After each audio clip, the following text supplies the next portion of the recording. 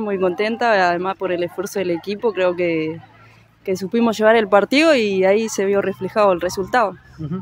Parece que si no es por goleada no pueden ganar el clásico. La vez pasada habían ganado en, la cancha auxiliar, ahora nuevamente acá en, Central. Bueno, me imagino que, que, muy alegre por eso.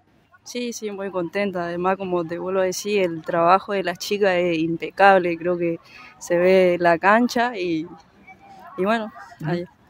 Y vos pudiste hacer dos goles. ¿Qué se siente hacer goles en un clásico? No, re bien. No, contenta, contenta. Eh, además, eh, vengo convirtiendo poco y estos goles me vienen bien.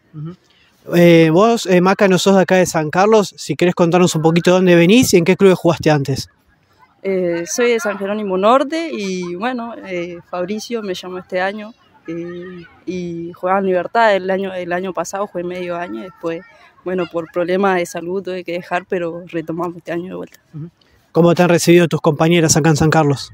No, excelente, un grupo genial, eh, muy lindo, muy unido y, no, re bien. Te contaron un poco de la mística que tiene el equipo, que el año pasado ganó prácticamente todos los clásicos, salió bicampeón, bueno, ya seguramente las has enfrentado. Sí, sí, sí, como te digo, muy, muy lindo equipo y es fuerte y muy bueno.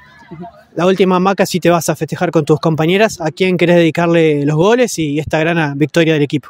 Eh, al cuerpo técnico y al equipo porque eh, me dan la, la oportunidad y bueno, ahí estoy